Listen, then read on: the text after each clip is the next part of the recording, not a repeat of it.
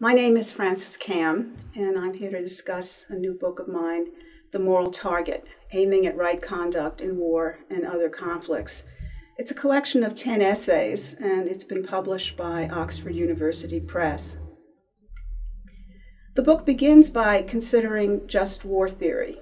Standardly, just war theory deals with the questions of what considerations uh, have to be met in order for starting a war to be just, and what con- conditions have to be met in order for conduct during a war to be just.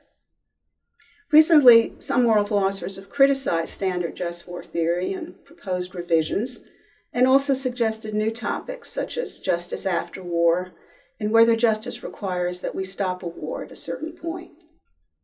The first chapter of the book deals with what just causes of war are and whether, if in fighting we've achieved the just causes, we have to stop fighting, or alternatively, whether we can continue fighting to achieve goals that wouldn't themselves have justified starting the war. The next several chapters deal with the justice of conduct in war.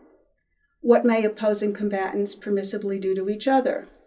What may they permissibly do to non combatants? For example, could we justify so called collateral harm to non combatants if this could have been avoided had combatants taken greater risks on themselves? Are all non combatants equally protected from being harmed? And is it ever permissible to deliberately harm non combatants?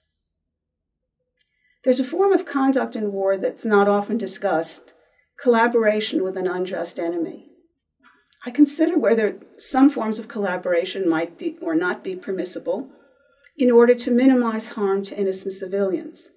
I consider the case of Jewish community leaders in Nazi occupied Europe in discussing this issue.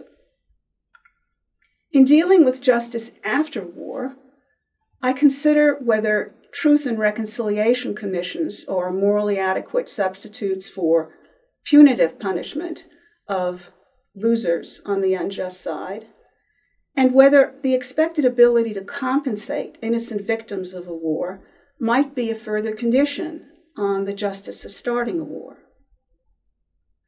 The remaining chapters of the book deal with conflicts outside of standard war. I consider what factors might contribute to making terrorism a distinctive moral wrong, what oppressed groups, such as the Taliban women, may permissibly do to resist their oppression. And finally, whether the prospect of harm to civilians in a nuclear attack could play a role in justifying nuclear deterrence policy. This book is a companion to my 2011 book, Ethics for Enemies Terror, Torture, and War, also published by Oxford University Press.